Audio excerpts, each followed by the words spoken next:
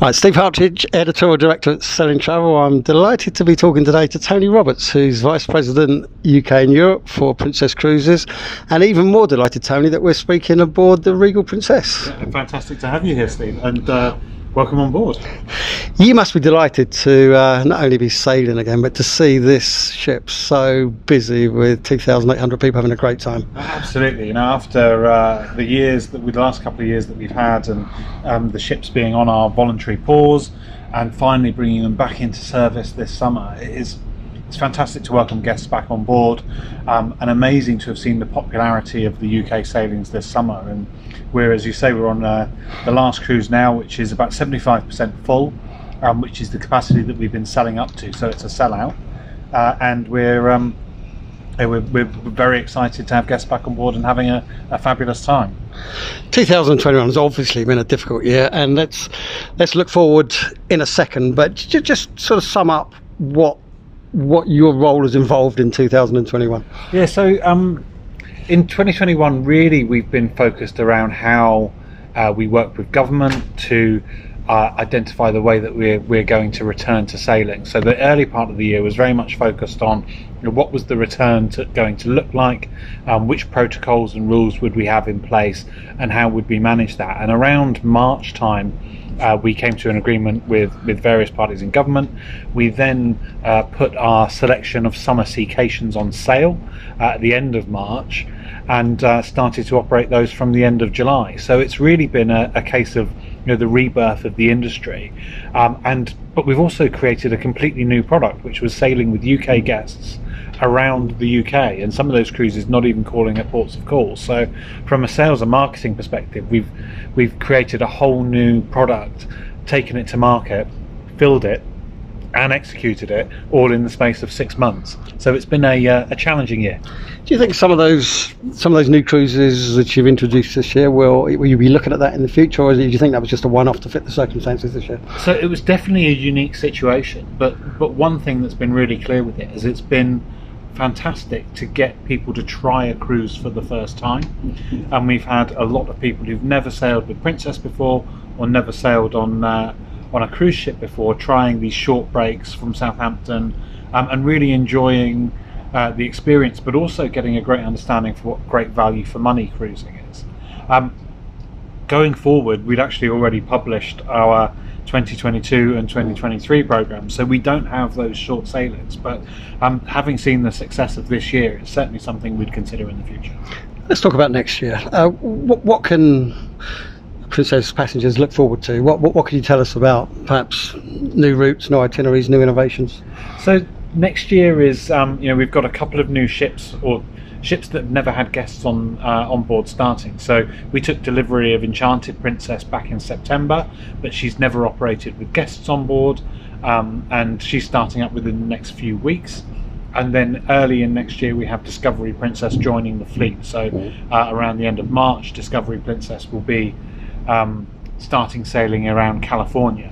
Uh, so we're very excited to be introducing new ships and new capacity coming in, um, and guests can look forward to that great Princess experience, but on the, the newest ships within the line.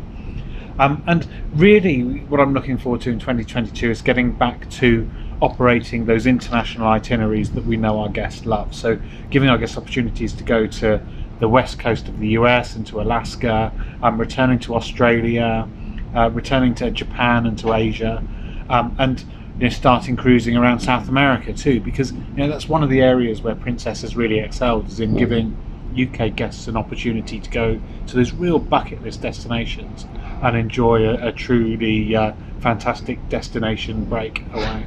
And how are bookings looking for next year? So really positive so far. We've got, um, I think 22 is, is at an advantage in a way because we had, uh, you know, lots of sailings from 2020 and 2021 had to be cancelled. And many of those guests have booked into future years. So there's a lot of, you know, there's a, a hardcore of guests who are looking forward to returning to the cruises that they had planned for the last two years. Um, but we're also seeing really strong demand. I think the one thing I would say though is that it's very focused right now on closer to home. So we're seeing really strong demand for ex UK sailings from Southampton, and we're seeing really strong demand for European sailings. and it's not really until 2020, late 22 and into 2023 that we're seeing that stronger demand for the long haul destinations. Okay. So a bit of a transition to come. But only today uh, you, you announced a great deal on European sailings for next for next year. Yes. Uh, is that something that is still going to sort of dominate the market? Some good prices, some I think so. The, the phenomenon in Europe is that we have a we have a number of trades, um, and you know the you're mentioning the the Baltic cruises from Mm. Copenhagen, where we we've just put out some revised pricing today. Um, that's a trade that would typically be booked by North Americans, Australians, and UK guests. So all of our core markets for Princess, but would be heavily weighted towards North Americans and we're seeing, as I've mentioned already, you know, the, the Europeans are staying in Europe, and the North Americans are also staying in North America. So we're just readjusting where in the world we're we're planning to source those guests from. So there's a huge growth opportunity uh, for selling. UK guests, European destinations that would usually have been very strong for North Americans. So, Mediterranean is one, um, Scandinavia is another, and we've seen huge demand for British Isles off the back of the Seacations, but also the fact that guests are very happy to stay um, very close to home and to stay Mm. within the UK for their holiday next summer as well. I mean, you, you, had some great deals this year on cruises. This this cruise particularly to Rotterdam, Southampton. Will they be around next year? I think there's always an opportunity for there to be good deals, um, but I think they're going to be harder to find next year because the demand, particularly for the sailings from Southampton, has been so strong. Um, oh, you know, we would normally do quite strong deals in Black Friday, for instance, and we're we're taking a long, hard look at the cruises that we include and. Um, you know the, the level of discounting that we need to do on those. So, but there's always a deal to be had, and um, you know I, th- I think we'll see a mixture of that. We'll see average selling prices going up, but I think um, there'll still be there'll still be some deals to have, particularly for some of that fly European product. I think that's going to be quite keenly priced. We've got travel agents on board with us on this cruise. I mean, that's surely a sign that agents and the trade will remain as important to you as previously. Absolutely. You know, we couldn't have got through the last 18 months without the support that we've had with our trade partners.